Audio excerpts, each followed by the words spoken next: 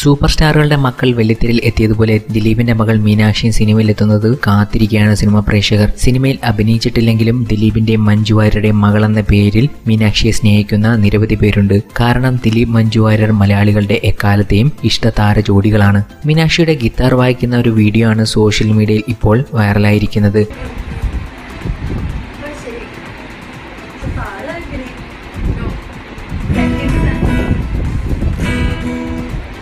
Come on.